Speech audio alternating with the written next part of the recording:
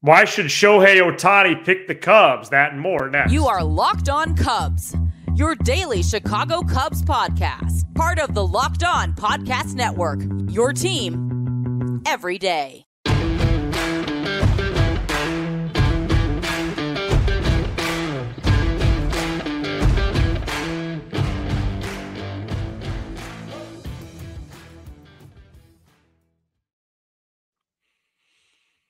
You are Locked On Cubs, part of the Locked On Podcast Network, your team every day, alongside Sam Olber.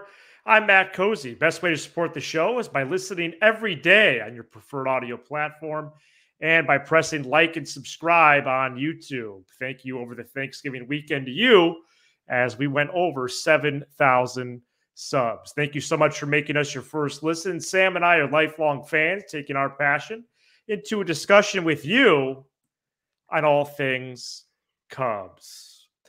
Well, why should baseball's biggest fish pick the Cubs over the other teams still involved in this process? Sam, as we get back to it this week, you had a great solo episode for Monday detailing where Jed Hoyer stands in all of this. And where the Cubs stand on Ohtani is very clear. That's the person they want. Yeah, and I think that's one of the reasons why, you know, in in response to a Sonny Gray signing by the Cardinals this morning, I got a lot of no, hey, when are the Cubbies going to do something? And where are the Cubbies at? And Cubbies, Cubbies. And well, who's saying Cubbies though?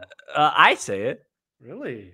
Yeah, and, I just like to officially announce I was completely wrong about Thanksgiving food. I did it right for the first time uh, this Thursday at the uh, at, at, the parents of Anthony's home, and you know, shout out to them. It was phenomenal, and I will be looking forward to Thanksgiving every year from here on out. I think Ohtani is the the holdup. I think Shohei is the holdup, right? Like he's a huge domino totally. to fall. You have to figure out, you know, if you have 450 to 500 million dollars, you know, waiting for one player, it's really hard to operate uh, until that happens. So hopefully it happens sooner rather than later. Uh, from from everything that, that we've heard or I've heard, the Cubs are, are still very much in play for that. Like I said on on uh, Monday's show, I even said on Twitter that I think there's like about a 50-50 chance, which is extremely high considering that four, five, six teams will be in the bidding. But I feel confident about it. And, you know, I think hopefully he'll make a decision early enough to where if they don't get him, there's still opportunities to pivot and still have a successful offseason, which I think is important. And and to the people out there that that may be listening right now, going, "Hey, you know, no more Ohtani, enough." There's nothing. Th- th- that is it right now. That that is the holdup. That is why you know we aren't seeing any major transactions from the Cubs because you know, he holds the keys. It's no different than when LeBron James was a free agent and when Kevin Durant was a free agent. You don't really see any big moves happen until until, like you said, the, the big fish decides where where he's going. I have heard nothing but the Cubs being in a good spot. Um, you know, I do think there's five teams involved. I think it's the Cubs, Dodgers, Giants, uh, Rangers, and Angels. And and and and I'm sorry, I have to cut you off. The uh, the th- the last three teams make no sense to me. None. Right, right. If if you're trying to win, which which by all accounts he is, why would you go back to the Angels?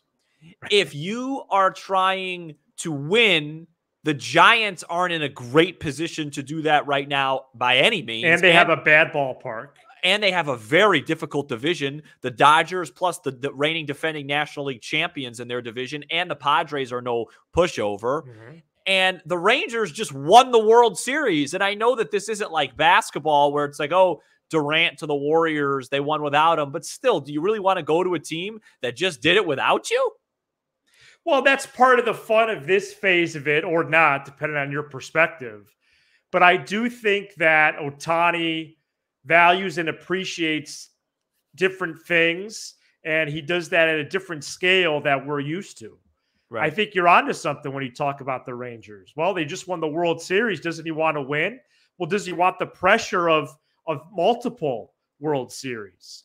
Uh, well, he wants a, a, a, nice ballpark, favorable hitting conditions. Well, the Giants then around. Uh, sure, the comfort of the Angels, but it's no secret how how porous the Angels have been. And you can say since Ohtani landed in the United States that the Angels literally had the two best players in the world and never advanced to the playoffs. So that's why for me, it really is a Cubs or Dodgers lens. And during this episode, I'm not going to use a you know to use a college football term. I'm not going to negatively recruit. I've made that decision. I'm not going to smush or smash the Dodgers. You're going to see a lot of fan feedback. Some of it does it does that. Some of it some of it doesn't. But I think there's a multitude of reasons why he he should sign with the Cubs, and and that's that's the field that I want to stand on. That's the flag that I want to plant. Sure, we could talk about the Dodgers and criticize all we want. Maybe you will do that. Um, well, you know I will. But but here here's what's going for the Cubs. You have a franchise that is on the cusp of something, and and dare I say something great. You know, whether it's the impact players on the current roster, whether it's the top farm system in baseball, whether it's the premier resources, whether it is Wrigley Field. And oh, by the way, how about four weeks ago, three, four weeks ago, when they hired the best in game manager in the sport? So I think from the Cubs' perspective, they should feel good. And I feel good about where they're at. Now, later this week, maybe we do discuss kind of the darker part of this. Well, what happens if they finish in second? But I think for right now, about a week or so out from him making a decision, because it would be it would be surprising to me, Sam, if it lasted past the winter meetings, which end next Thursday, December seventh. I do think the Cubs are in a good spot. I agree and appreciate everything you said, except for please, you know, on our show, obviously, you know, you have 50 50 say, I have 50 50 say, please don't mention college football on here. Right. Um, you know what I mean? It's just, you know, had a great weekend, but a little too much football for me. Sure. Um, as as we're about, you know, 40 minutes away from kickoff. Iowa 10 and 2. Minnesota. So no, I um I agree. I agree with everything you said. I think it it, w- it was put pretty pretty smoothly. I, I just think that the point I'm trying to make today is that I don't see the Cubs really doing anything significant until we know where Shohei is going. Right? It's it's just one of those things. It's a it's a long term. You're you're thinking long term with it, right? And you just have to kind of just you know let things happen here and, and, and see what happens. So, um, I I support that. There, there's so many different things I've heard with Shohei's contract. I think I talked about it on Monday's episode. Uh, was proud of that one, by the way. Contract creativity. Yeah, That's right. Jeff Con- Passan's calling it. Yeah, well, and it's nice to be on the show with Jeff Passan. Thanks for joining us uh, with all you with all your reporting these days. Shout out, you know, some people have things to say. So, um, you know, I I I'm interested to see what the deal he signs and, and how it happens. But I, I, I think the Cubs are they're all in and they're going to make their case. And like you said, I think Shohei is very interesting. He's not he's not American. He's probably approaching this a little different than maybe Jed and other front offices are used to. I bet you I bet you the team that gets him will be surprised when they got him. Like I don't think it's going to be one of those things where he gets out of a meeting and goes, "Jed, I'm coming to Chicago." Like right, I don't think right. I don't think it's going to be like that. I think Jed will find out and be like, "Oh wow, I, I, didn't think I didn't think that went that well," you know. So we'll see what happens. I'm interested to, to see our our listeners' uh, feedback of why he should choose the Cubs. I have my own case that I'm ready to to give whenever you give me permission to do that. So, what are your thoughts on a twist to this whole process being the Cubs or another team, maybe front loading the deal, say 50 to 60 m's for the first two or three years? Uh, possibly even with an opt out after those two or three years? Or do you think he just wants a straight contract, 10 plus years, 400 plus M's? Well, would, would, would three years, 60. It'd be three uh, years for 200 M's, basically. Oh. And then, and then who gets the opt out? He does? Yeah. Yeah, I, I don't, I would be fine with that. Okay. I, I, I've learned I've learned the last couple years that GMs are much more years are the bigger problem. Right. And so, you know, yeah, I mean, three years, 200. I mean, that's, we're talking about. My math doesn't line up. Yeah, it's a little high. I, I'd It'd probably be about say, like 160 for three. yeah, yeah, like over 50 million a year Yeah, for three, yeah, yeah. front load it. Yeah, I think, I, I still think you're going to have to give him a bigger guaranteed lump sum than that. So I think it'd be like, the, it would be an opt out for him after three, but the total deal would still be in the seven, eight, nine range because he's not going to just gamble and just say, "Hey, in three years I got to prove myself again." I think it might be an early, an early opt out after year three for him. Why do you think he should pick the Cubs over the Dodgers or somebody else? You want me to go now? Yeah, You don't want to tease it? we can tease it. No, no, whatever. um, sure, I'll answer right now. Got me right off guard. Um, Sam's going to answer this Uh. right after this. Today's episode is brought to you by FanDuel. Oh boy, early this NFL season with FanDuel, America's number one sports book. Right now, new customers get $150 in bonus bets with any winning $5 money line bet. That's 150 bucks if your team wins.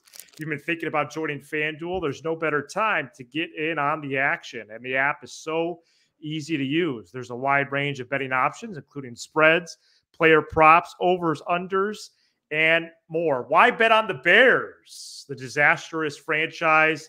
They're on the lakefront, who are about to kick off as we're recording here Monday Well- evening Central Time. Minnesota, Minnesota. Uh, the Dodgers are the betting favorite for Ohtani. The Cubs are second uh, per per FanDuel. Uh, so we're going to keep tabs on that as well. Visit fanduel.com slash locked on. FanDuel, official partner of the Locked On Podcast Network. Why should Shohei Ohtani pick the Cubs? Before we get into your feedback, your answers on that question, I have 10. 10's a nice round even number. 10 screenshots here pulled from YouTube from last week. Sam, why do you think Ohtani should land on the north side? One word. One word. Mark. Legacy. Legacy. Okay. Um, I think Chicago is the perfect place to leave a legacy that will be remembered forever. Whereas the Los Angeles Dodgers are, it's more of a, you're a big fish in a bigger pond, right? You have LeBron James right now in that city. You have Anthony mm. Davis in that city. You have Freddie Freeman. You, you have all these guys. And no matter what happens, it doesn't matter how good Shohei Ohtani performs, that city belongs to the Los Angeles Lakers. It always has, it always will. Chicago is different. Yes. When the Bears are good, it is a Bears town. But when the Bulls are good, it's a Bulls town. And when the mm-hmm. Cubs are good, it is a Cubs town. And he will be treated like royalty if he comes here. Tickets, everything will sell out. You go, you go to the Dodgers, people are, are going to miss his first at bat because they're stuck in traffic and they don't care. Okay. It is Chicago has its negatives, right? Our sports teams aren't very good. But the one thing about Chicago sports fans is they are loyal to a fault. See the Chicago Bears to a fault. And they are starving and they are hungry for not only a great team, but a, a, a special, special player. I know I don't follow a lot of hockey. I know you had Patrick Kane and Toews. I'm, I'm sorry. I, I just don't go there. It has been a long time since we've had, you know, it looked like it could have been Kris Bryant. It wasn't. Okay. It wasn't Rizzo. Those guys did the job. They won a World Series, Yep. but a true blue blood world class superstar. It's been since when, off the top of my head? Derrick Rose, and and, and he got injured. Before that, Sosa. Yeah. You want to you want to throw Sosa. Urlock? You want to throw Urlacher in there? He's a Hall of Famer. But, yeah, that's a good one, actually.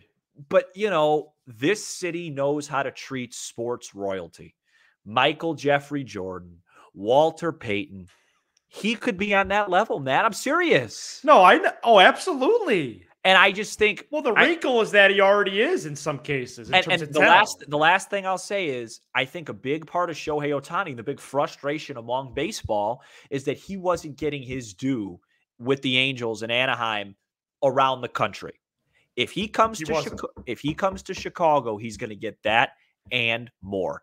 It is about legacy. Leave a legacy. You can have all the money in the world. If you don't leave leave a legacy on this earth, whether it's a small one like, you know, you know somebody that that works really hard and leaves a legacy in their company with their family or in this case a big stage if you're not leaving a legacy what are you doing you're not leaving any legacy in that laker town unless he's got a really good jump shot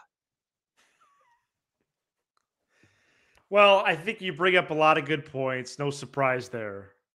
one point and you know legacy being important to him uh you know we've gotten some murmurs on that and uh you know will is he going for the most money i like to think no because the giants are going to offer the most money they they they offer they have the most to they have the most to lose uh you know it was well publicized that judge was going there that was in, inaccurate they they agreed to terms with Correa, then then that deal was backed out.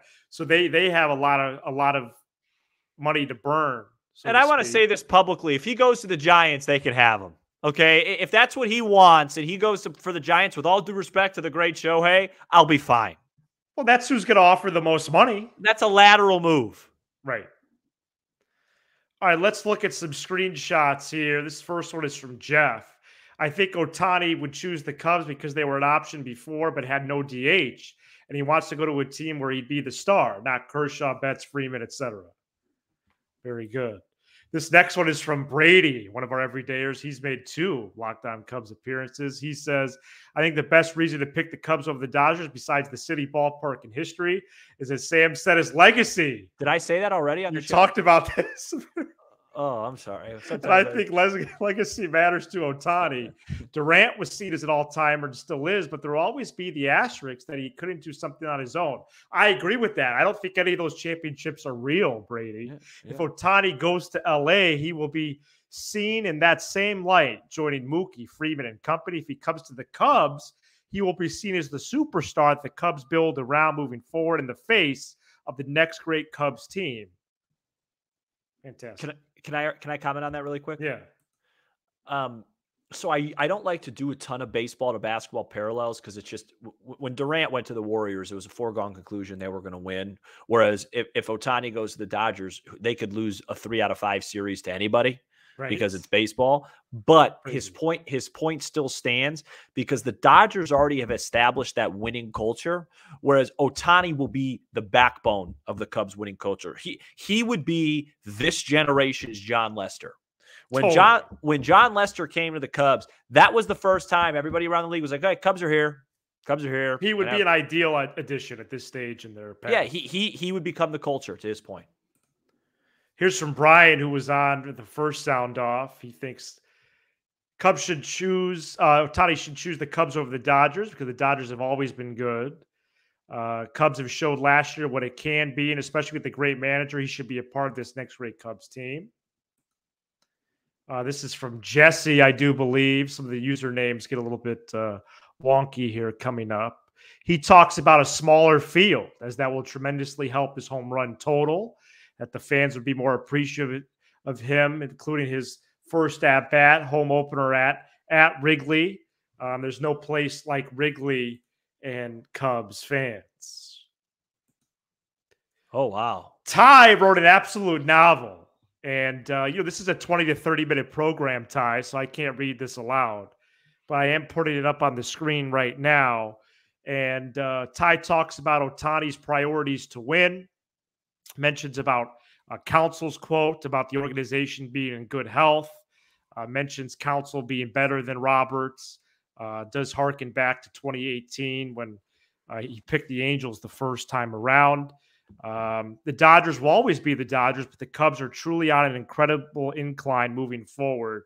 Jed, get it done. That's that's from Ty, uh, who's who I believe still needs to be Venmo. Uh, this no, is no, from I, I don't. I took care of Ty. This is from Aaron. Ohtani should sign with the Cubs because the atmosphere at Wrigley will only make him better. Very good. Oh, so you're just you're breezing through these puppies. Here's from Lawrence, one of our everydayers. Oh, great everydayer. Treat Chicago treats its superstars yeah. like no place else. The Me, fans I'm, at Wrigley, me and Lawrence, man, are special. He's got Seiya. We haven't heard much about Seiya as being yeah. a reason. Counsell outstanding manager. D- day games being more player friendly. Ooh, I've never... and the neighborhood being player friendly as well. What do you are think about day, day games, games, Are day games more player friendly? I've I've also I've heard the, the opposite. Like, yeah, it might be better hitting conditions, but you know, players usually like to stay in routine. They don't like to get home and, and go to bed at midnight and then play at you know 120 the next day. I right. I've never seen that as a positive to bring him here, but I guess I could think more about that. Uh, for me, Matt, everything changed for me when I found out when I, I, I don't remember if it was Heyman. I think it was Heyman that said geography is not a factor. That was a big one. That was Morosi. Oh, Morosi. That was a big report. My Italian friend. Yeah. Well, it is a big report because that means he would come here. Right. That that was huge. Uh, this from B. Ross. I think he picked Chicago to be the star Yep. So now we're seeing a lot of crossover here. Uh, he actually name drops the Lakers and LeBron. Says Ohtani should come to Chicago to be the king and launch balls out like Sammy Sosa. B. Ross. B. Ross. Oh man, here's from Nick. He's got two main reasons: Cubs over the Dodgers. Dodgers Nick Cozy piled on. No, no. This is okay. Nick Williamson, five seven nine eight. Uh, face of the franchise and fan loyalty. There's no fan on earth more loyal to a team than Cubs yes. fans. We stayed loyal for 108 years between championships. We'd stay loyal to him the whole time he'd be in Cubby Blue. I don't think the same would be true for the Dodgers. Then you add in factors like the ballpark, the history, etc. That's from Nick. These are great answers. I didn't That's, look at these. It's making me emotional, man. No, man. It's all, it's it's it, we're all thinking in the same light. No kidding. I right. I, I have LEDs. And finally, Jim, one of our great everydayers, Sam. Love Jim. Would you like to read this one? Yeah, I, if you don't mind, I would think like you to. should. Yeah. Well, Jim's a really smart guy. So, Mr. Ohtani, this is from Jim. There is momentum happening here. You are about to undertake the most important decision of your career. Let me help you. There is one word that separates the Cub fan from a Dodger fan, and that word, according to Jim, is passion, all caps. If you want to start a 7:05 p.m. home game with half the crowd either on the LA freeway or on the concourse ordering a Dodger dog with ketchup and kraut, then sign with the Dodgers. If you can walk to the plate and it's so quiet, you can hear Ben Affleck tell his starlet date, Did you know I played Bartman? then Batman. signed with the Dodgers. Batman. Oh, Batman. Sorry, I mean, I was gonna say, when did he play Bartman? I missed that, film. if you want to be loved by a fan base that still treats an 80-year-old former players like first cousin, sign with the Cubs. If you want to walk to the plate with the bases loaded and have 40,000 fans standing and cheering, and you realize it's only the first inning, that sign with the Cubs. This sounds like some sort of like Jewish prayer. Uh, if you want to play in front of a passionate fan base, that cries after a tough loss, but cries harder after a big win then sign with the Cubs. Tough decision, I think not. Reminds me like phenomenally done. Yeah, that was great job, Jim. It had that like repetitiveness that like some like religious prayers do. It's so good, right? That was really well put. Oh man, 10 great responses from our great listeners. We truly have the best listenership in all of sports podcasting. Don't you feel that way? Yes. Fantastic. Well, we got a little sample of why Ohtani should pick. Then pick the, the Cubs. The Cubs. Then we should do like a holiday parody song in it. Then pick the Cubs.